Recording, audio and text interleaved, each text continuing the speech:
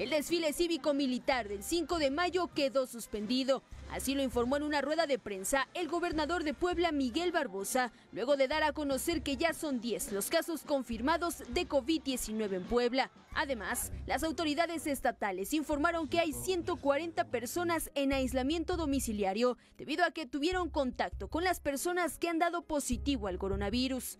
Por otro lado, el mandatario estatal dio a conocer que debido a la situación se extiende el plazo para el pago de control vehicular hasta el mes de mayo y el proceso de reemplacamiento al mes de junio. Adicionalmente, informó que se comenzarán a aplicar medidas de prevención en lugares públicos para evitar la transmisión de COVID-19. Con imágenes de José Manuel Cervantes, Joali González, Azteca Noticias.